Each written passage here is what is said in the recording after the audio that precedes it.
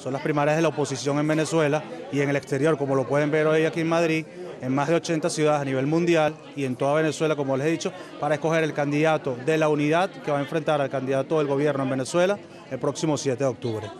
Cuéntanos un poquito la historia de este partido, cómo surge y... Bueno, eh, realmente la Mesa de la Unidad Democrática es una coalición de partidos, de todos los partidos de la oposición que están en un solo bloque eligiendo a un único candidato para enfrentar el 7 de octubre a un candidato del oficialismo que tiene y que usa todos los recursos del Estado para poder este, ganar esas elecciones que, se van a dar en Venezuela. Según los números que estamos manejando hoy, la participación masiva que está habiendo hoy, el candidato de la oposición en Venezuela va a arrancar con un gran bloque de votos inéditos en Venezuela, en la historia de Venezuela y probablemente de Latinoamérica para enfrentar a Hugo Chávez. Eh, Hugo Chávez es un candidato que es elegido por él mismo prácticamente.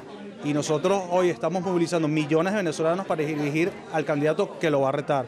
Eso es una gran fuerza que, que- que a nosotros nos motiva de cara al 7 de octubre.